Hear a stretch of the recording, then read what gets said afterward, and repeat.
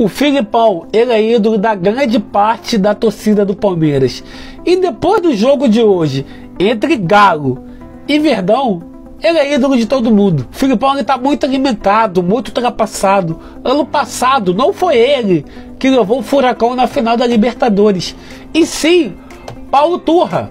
E tem técnico no mercado livre, tem técnico bom e barato e livre o ex-técnico do Água Santa, que levou o time à final do Paulistão e assumiu o Juventude na lanterna do Brasileirão e hoje o time flerta com a Série A estando em quinto.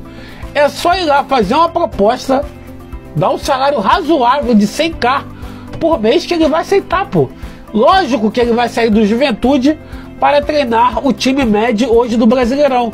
E dá para passar do Palmeiras. O Palmeiras não está jogando muito bem. É o Galo que está pífio.